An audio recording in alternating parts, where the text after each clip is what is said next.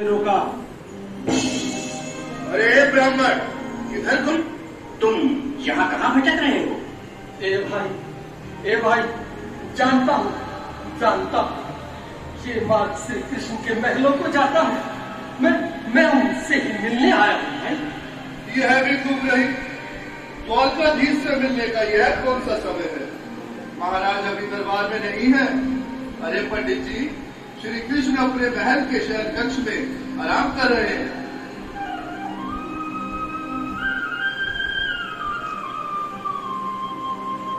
देखो देखो, ये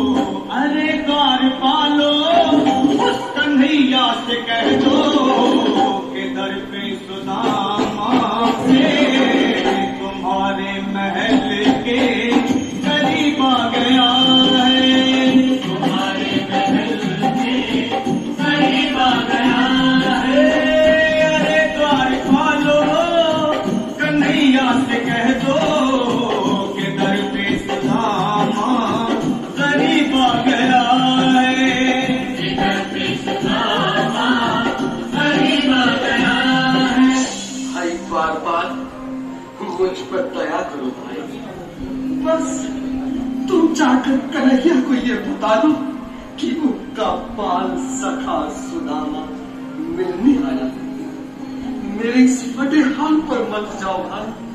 तुम बस जाकर मेरा संग क्या हँसी ठट्टा करने को हम मिले हैं? तुम ठहरे, हीन, निर्धन भटेहाल ब्राह्मण, तुम्हारे अंग अंग से गरीबी बदहाली झलक रही है। और कहा, महाराज, श्री कृष्ण, क्षमा करना पंडित जी। हमें अपने प्राणों से हाथ नहीं धोने। जो तुम्हारा संदेश द्वारकाधीश तक पहुँचाए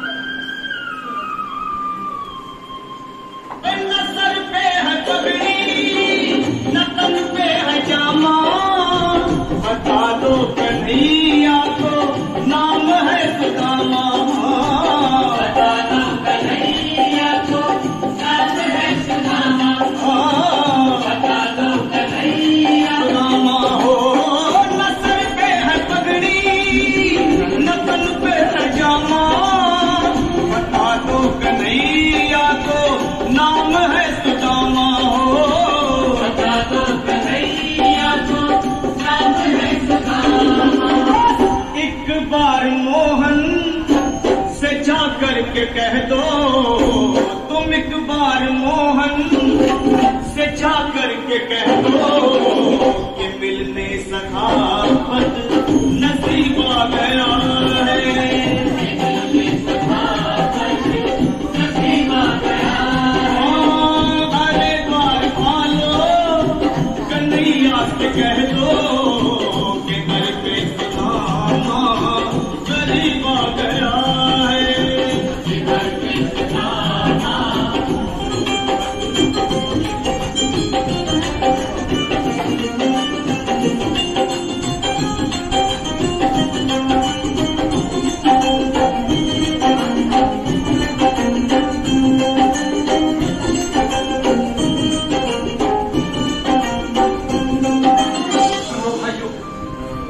मेरी भी सुन लो। जब तक मेरा संदेश उस द्वारकाधीश तक नहीं पहुंचाती, तब तक मैं यहीं बैठा चाहे मेरे भूख प्यास से प्राण ही क्यों चले जाए।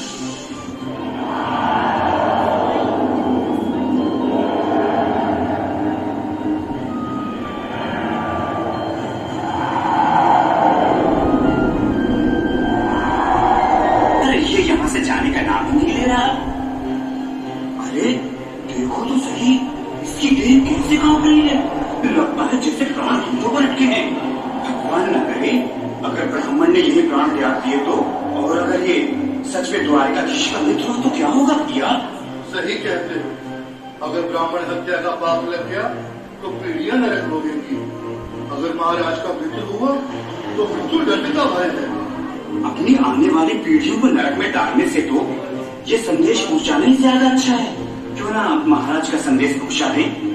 ऐसे करो तुम जाओ भैया तुम जाओ भैया तुम उम्र में बड़े ठहरे मेरी बात तो समझो। तुम ही जाओ। देखो भाई मैं ठहरा बाल बच्चेदार परिवार वाला। मेरे बूढ़े माँ बाप हैं। कहो तो अकबाल इस समय कैसे आना हुआ? महाराज क्षमा चाहता हूँ पर कारण ही कुछ ऐसा है। द्वार पर एक ब्राह्मण स्वयं को रुक क्यों गए? आगे बोलो। द्वार पर एक गरीब ब्राह्मण स्वयं को आपका मित्र बताता है, आपसे मिलना चाहता है, अपना नाम अपना नाम सुदामा बताता है। सुदामा? क्या कहा? सुदामा? मेरा बाल सका सुदामा? मेरे बचपन का मित्र सुदामा? सुदामा? मेरा मित्र सुदामा? स्वामी स्वामी